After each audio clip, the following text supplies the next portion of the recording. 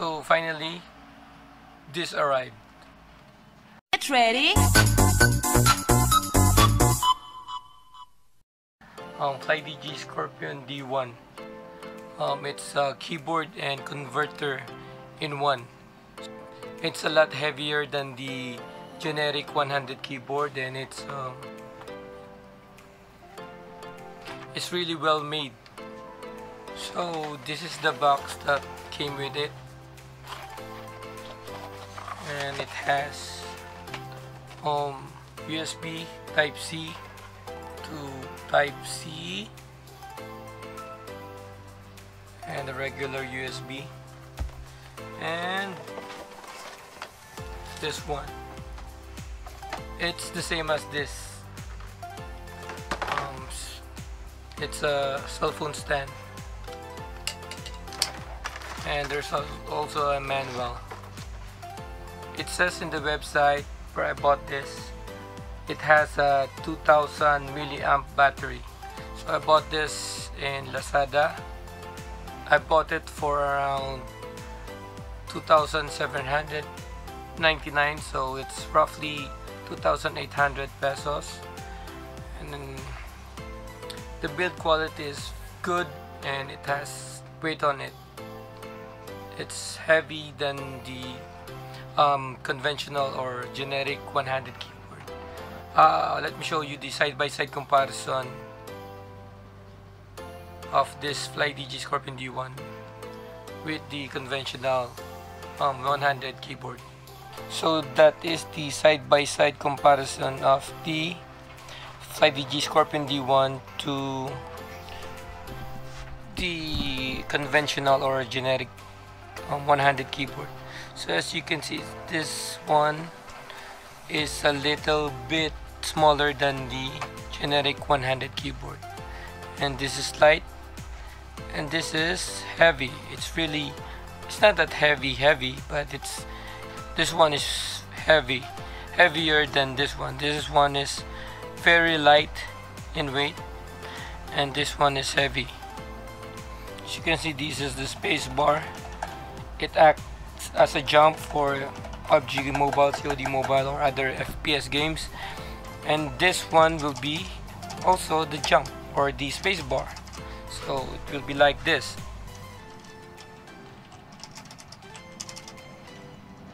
In one-handed keyboard it's like this. But in FlyDigi D1 it's like this.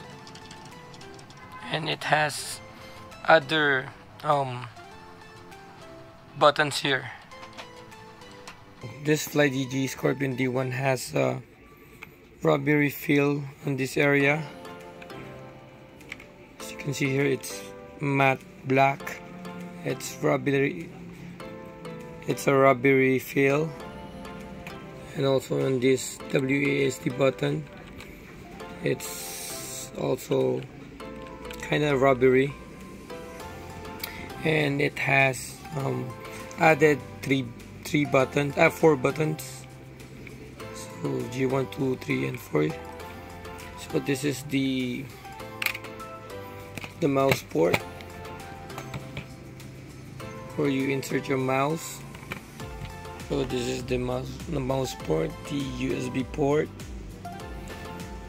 The USB port is used for charging. And on the left side this is the on on and off button the Bluetooth and this is the for light. See it's for light.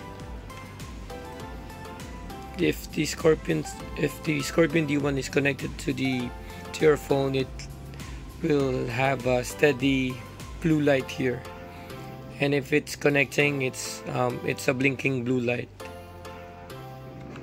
so the added button the G1 to G4 and G3 um, will be like this. So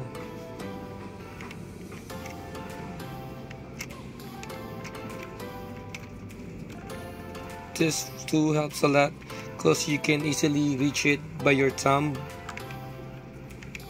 and also this one. But G2 is kind of far so this one is this two will be easy reach from you by your thumb. So by the way bef before you turn on the bluetooth and connect the scorpion d1 you have to go first to the FlyDigi game center app.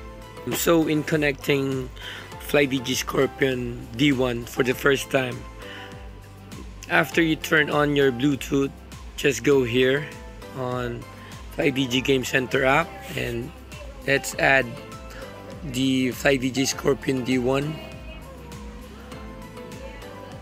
okay then open your um, Scorpion D1 so it detects it so there you go. It's connected. So first you have to open the FlyDigi game center app and then go to add the gamepad the Scorpion D1 gamepad and after you add the Scorpion D1 gamepad turn on the Bluetooth and let it connect. And you should use the flash play mode. And if there's an upgrade just click on this one. And as you can see there's an latest upgrade so let's upgrade this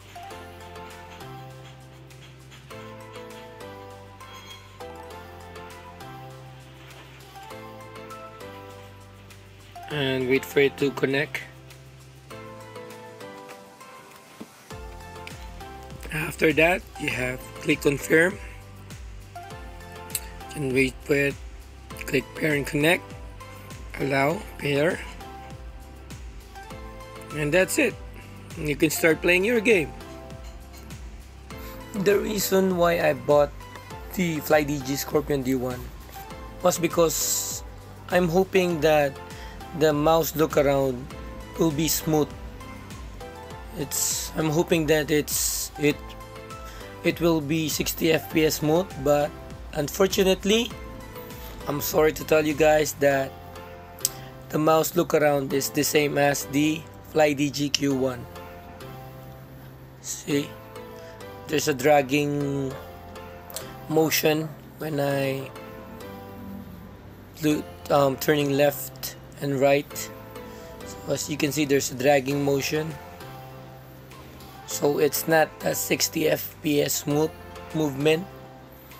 So I'm just hoping that it will be um, a 60 fps smooth since this Scorpion D1 is um, way way way um, expensive than the FlyDigi Q1 but that's how it is. But when you look uh, but when you use the WASD button it's um it's smooth. It's it's 60 fps smooth.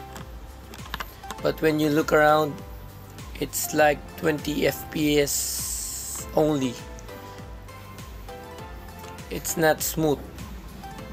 If you're having doubts what to choose if it's either FlyDigi Q1 or FlyDigi D1 if you have a um, if you have a mouse and keyboard just choose the FlyDigi Q1 because it's it's the key mapping is very identical.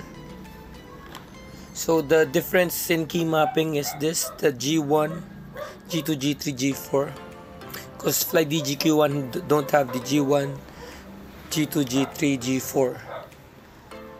So that's the only difference. But the um, process of key mapping is very identical to FlyDigi Q1. So FlyDigi Q1 and Scorpion D1, the key mapping process is identical. So when you're using Q1 and you decided to use um, FlyDigi Scorpion 1, um, when you decide to use the FlyDigi Scorpion D1, you don't need to set it up again. So whatever key map you made in Q1 you can also use that on your um, Scorpion D1 so it's just plug and play. So as you can see oh wait as you can see it's the look around is kind of laggy. It's 20 fps smooth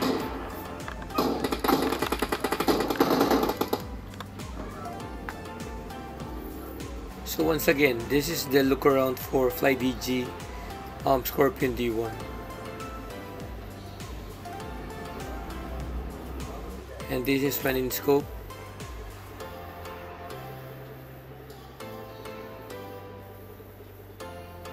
Here's the mouse look around in COD Mobile.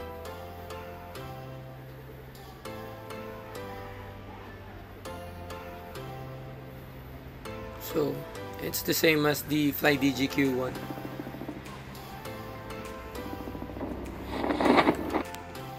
So in order for you to save your um, presets or your key map saves in the um, game uh, in the FlyDigi Game Center, just open this config management and let's say you want to save this Q1 CODBR2 just click on edit and select it and click upload. So since I have um, since I already have a copy of this let's just click confirm.